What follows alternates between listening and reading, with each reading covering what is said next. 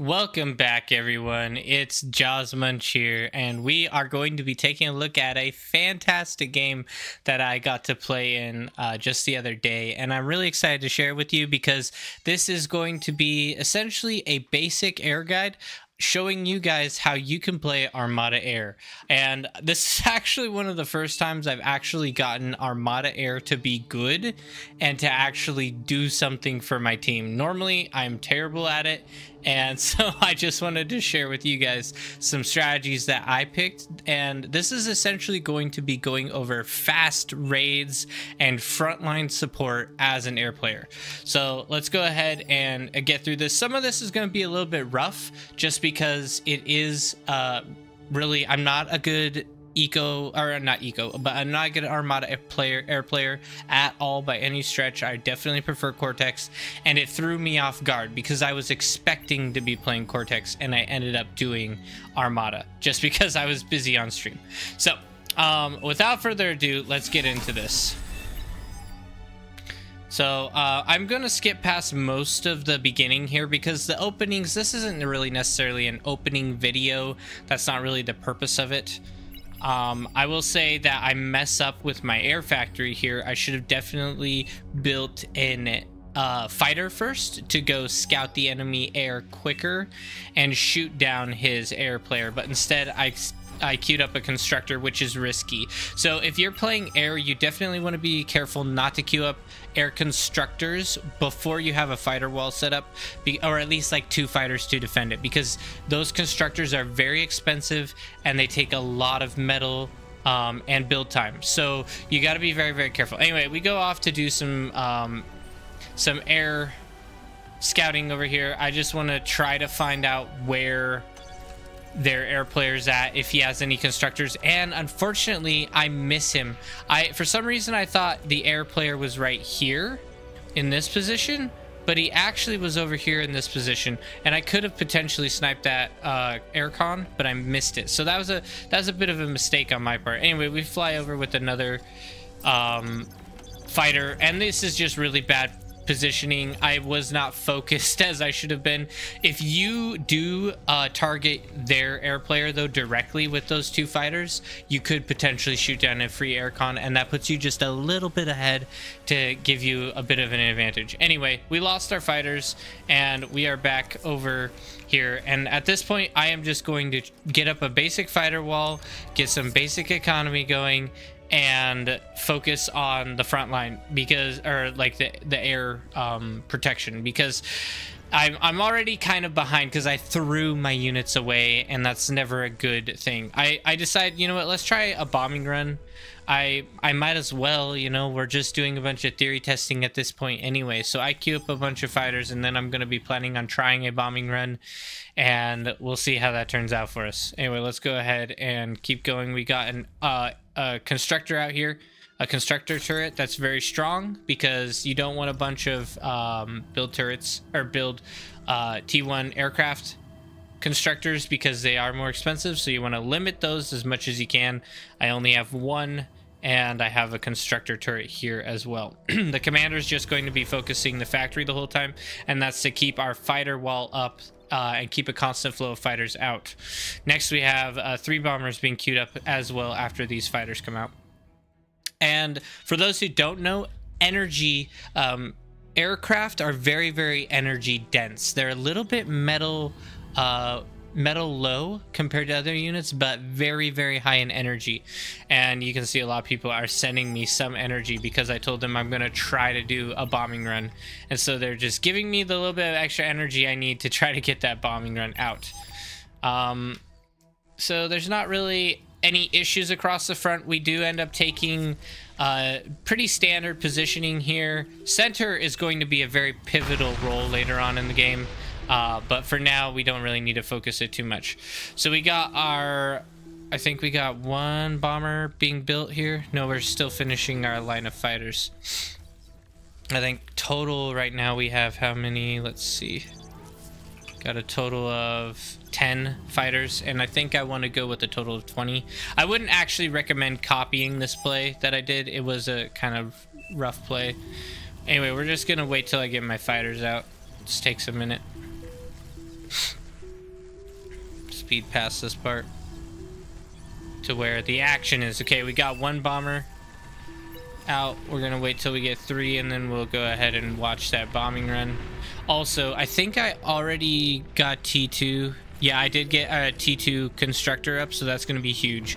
And I got those guys getting ready to build. Anyway, first off, we're going to be starting off with our bombing run, getting prepared on this side, ready to go with a decent amount of fighters.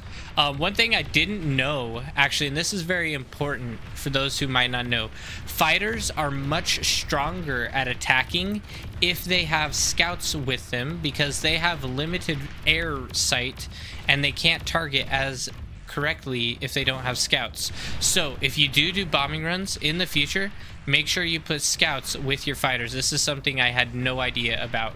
And it actually uh, bit me in the behind here a bit because I ended up botching this bombing run here. You can see I have these bombers flying in and I was going to try to bomb or I think retreat them, but they just ended up getting shut down because I lost my fighter wall. So it was it was basically game over there for me. I lost so many units, and Red still has a total of I think.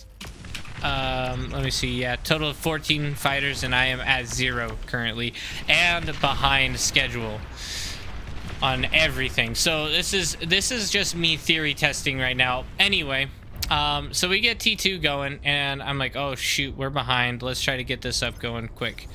So let's go ahead and speed up the economy side here. We have a lot of overflowing energy, so I'm going to try to use as much of that in energy conversion so that we don't waste energy, because that's essentially the same thing as wasting metal. Okay, we got our all of our T2 cons upgraded, or T2 uh, mexes upgraded. For those who don't know, T2 mexes uh, quadruple your income, so four times your income. Very, very valuable. You need to prioritize you're upgrading your mexes as much as possible. And then after that, we're going to be going into uh, some fusion reactors. Fusion reactors are able to be uh, basically a large energy production and then you can convert all of that excess energy into metal. So it's very it's the one way you can like infinitely scale your economy. If you had like a million fusion reactors and a million energy converters you could have infinite metal regardless of how many metal extractors you have. So that's why we're building a couple fusion reactors just to get us that little bit of scale that we will need to do the next play. So i'm just i just have a decent amount of um, air our fighters going across here, and you can see uh, pink, pink and purple. Our naval players, they are having quite a fight over here. So it's this ends up becoming an issue later on. We barely survive on this corner, and uh, you guys will get a chance to see what happens there in a minute. Okay, let's go ahead and skip past this. This is the boring part of getting your fusion reactors built up and a little bit extra build power and we suck up our lab. That is a little bit risky to do. I do want to mention that. You can suck up your lab for an extra influx of metal, and it's okay to do that, but just be careful because that is a bit risky because now I can't produce fighters. If they end up sending a big bombing run in, they could end up crushing my entire front line and actually killing us. Um, so it's, it's a little bit risky to do that, but it ends up working out for us here. Um, as you can see, Pink Pink is really putting her in is surrounding Purple's base, and so that's going to be one of my first targets when we end up uh, getting up our our atomic bombers. Those are the ones that we are going to be going with. Atomic bombers. Fantastic. So we have a little bit less energy conversion than I would like. Um, obviously wasting isn't the best, but we are sending it to our team, so it's not the end of the world. And we've got our first uh, couple we got our first T2 factory out, and we're going to be producing 40 fighters, two bombers, and one sonar. This was after some people mentioned to me that sonar is uh, sonar planes are very very valuable for fighter walls, and they give them just that little bit extra damage required to actually uh, actually target the units, a little bit extra range to target the units properly. So Huge play there. And you can see here, we're in a very good position. We're building as much as we can, and we have plenty plenty of excess metal. We have we're only using like 30, 40 metal, and we jumped up to 60, I think, because we're using build turrets or building build turrets now. Uh, but we have a ton of metal income, and so I'm gonna try to get build power up a bit at this point. Trying to match build power with our metal income is important. Here, we're losing this front. Uh, let's actually take a look and see what all are the fronts we're losing here. We're losing this C completely. Um, yellow's pushing in on this side, but thankfully he's holding decently well. But green is holding, not really doing any aggression yet. Pink is on the verge of pushing in to purple. Purple is just barely holding off um, and not really not doing much more than just holding.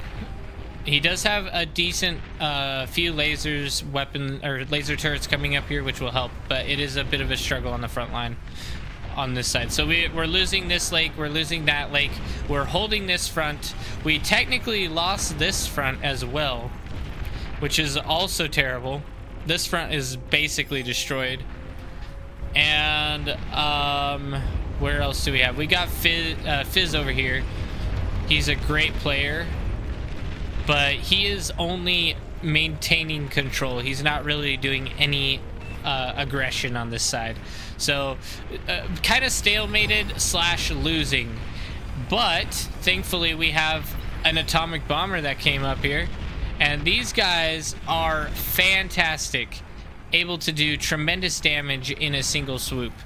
Um, so you're going to see I'm going for a very strategic in and out attack with the atomic bomber. So I'm looking for large groups of units that are pushing on the front line.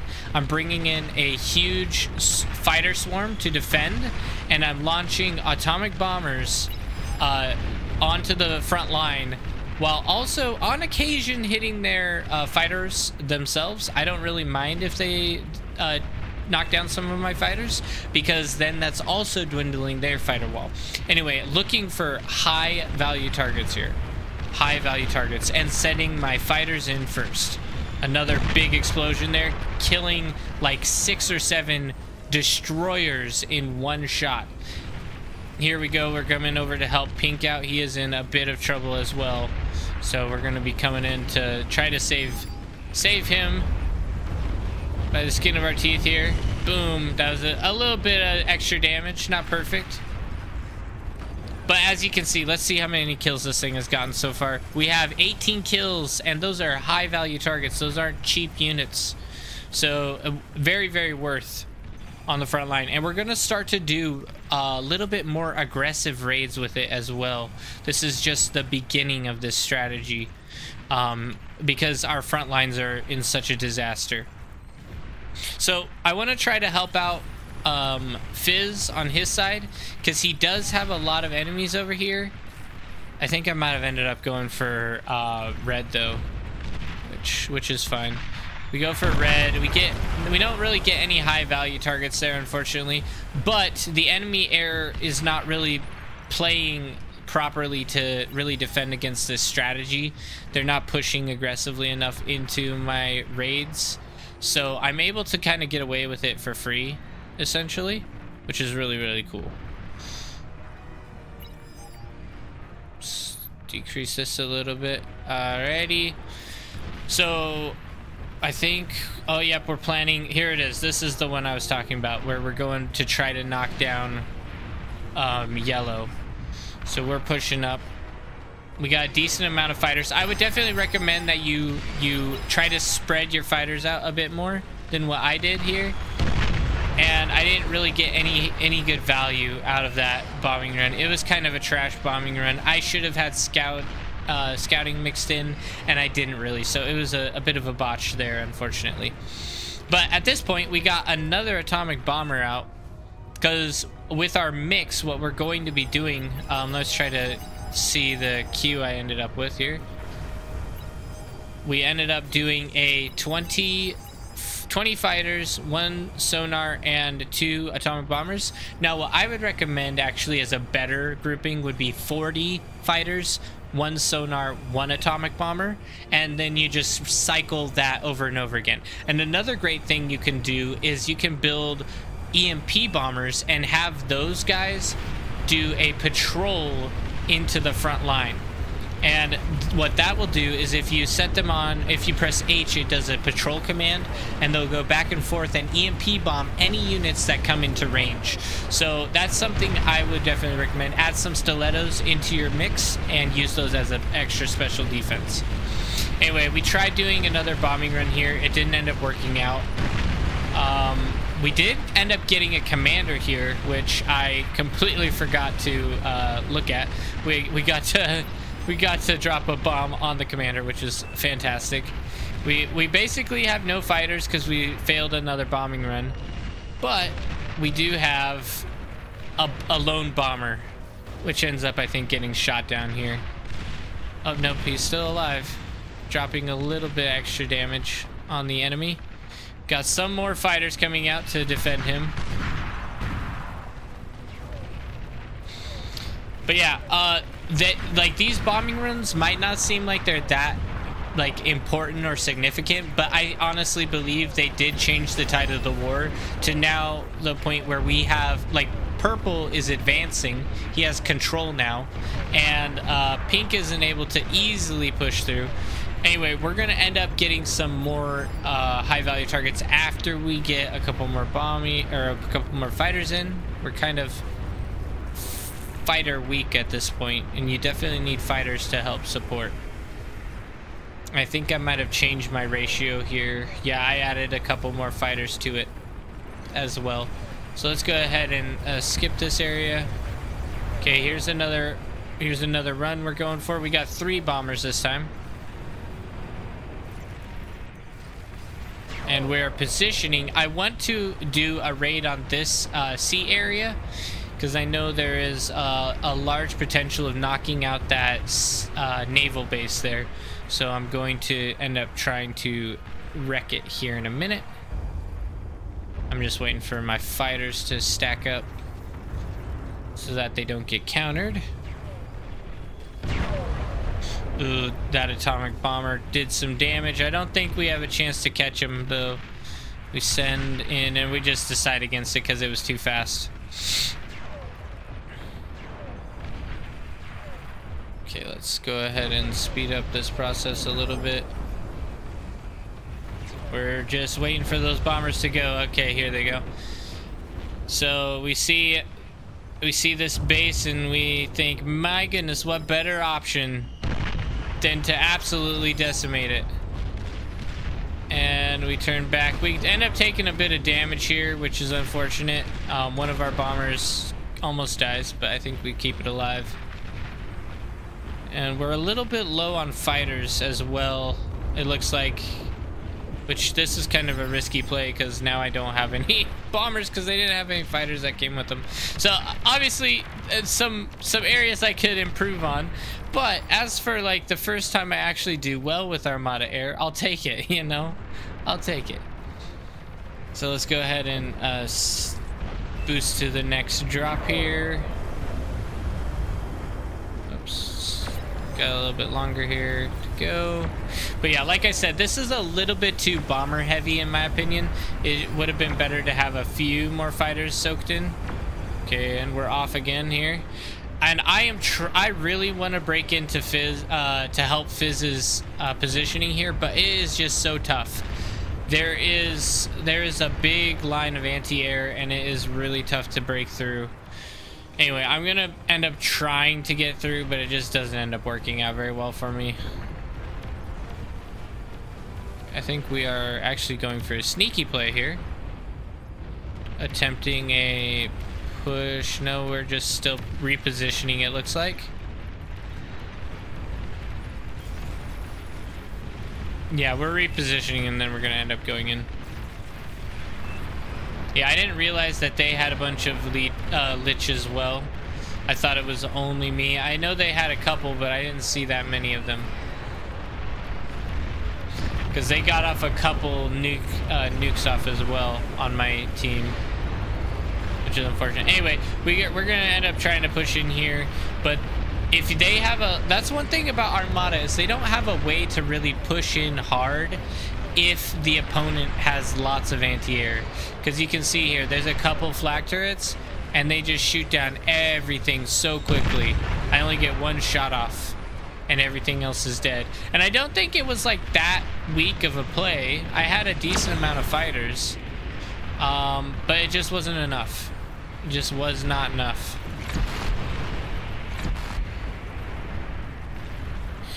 Anyway, it's evened out on the front line. You can also see over here, this is important.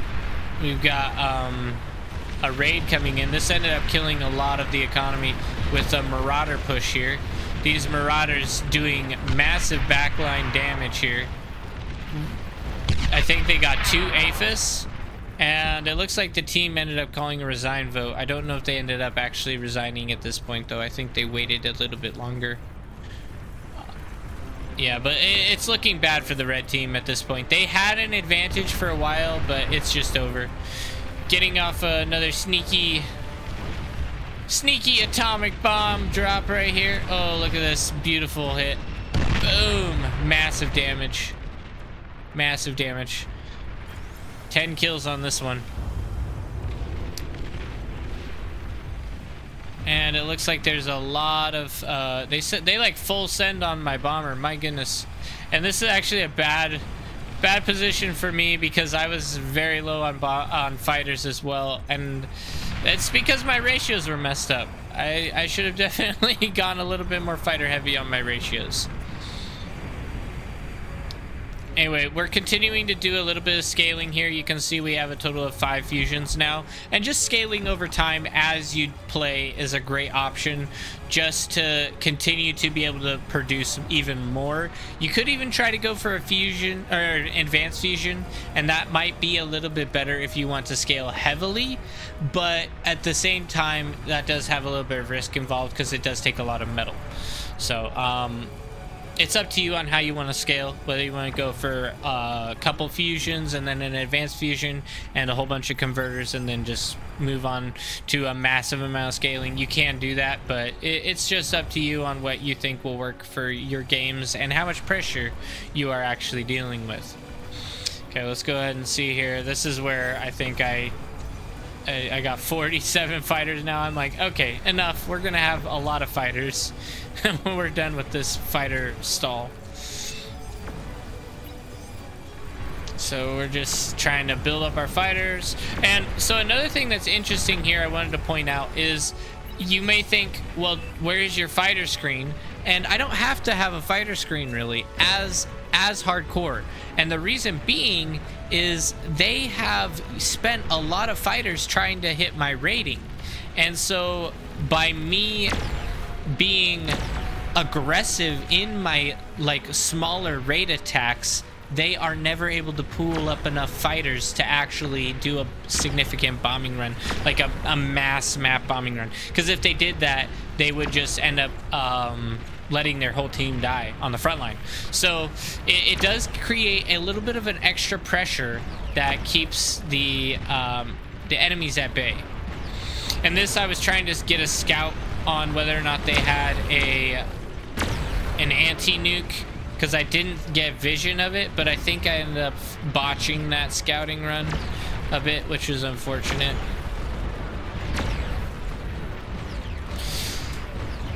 Oh, here's another Liche coming in. I think I'm trying to go for a bombing run again while also trying to get a scout out to see if they have... Oh, oh yeah, this is when I went for the, the, um... Oh man, I missed them. Those guys are so lucky right now. We got the second one coming in. Oh, that one did a little bit more damage. Still, so many snipers. Yeah, I messed that one up pretty good partially because I didn't have any um, defense. I didn't have any air uh, air defense there. Anyway, I'm pushing in here at this point. I think this is all scouting purposes or to just verify how much they actually have or to I don't know. I don't know why I did that. I think it was scouting. Yeah, I'm trying to get vision here. So if you go to player view, from my vision, it doesn't look like they have any um, any anti-nuke at all, but they really do have one in the back corner. Because we were going to try to nuke that base because of how strong it was in that corner.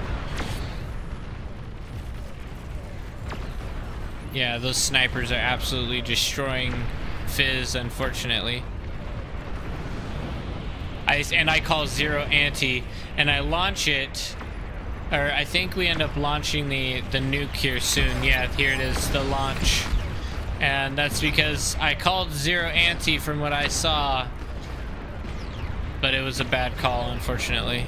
Yep, there it goes. Quite a pain. We could have, could have got it. Boom. But the anti-nuke launch stopped it in its tracks. Anyway, we ended up cleaning up those um, couple of those snipers pretty easily there with another atomic bombing run. And I think we're going to turn our attention over to this side here. Yep. Because we haven't, well, you know, we're just playing a little bit more of a support role. Trying to help bomb out high groups of units. There it is, another excellent bomb. Unfortunately, they take him down, but still worth it. Still got its value for sure.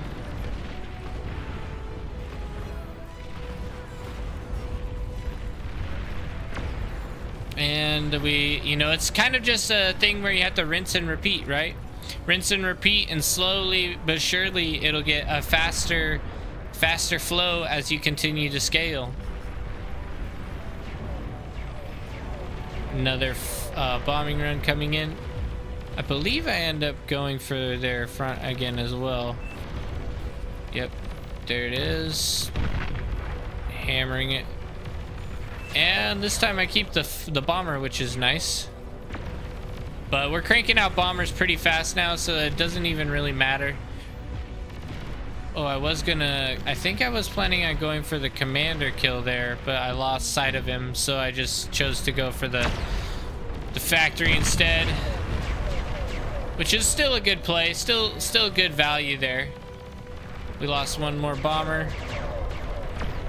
And you can see across the line, still not very many fighters. They do have a single bomber that's harassing on their front line as well against us. But overall, we're doing pretty good.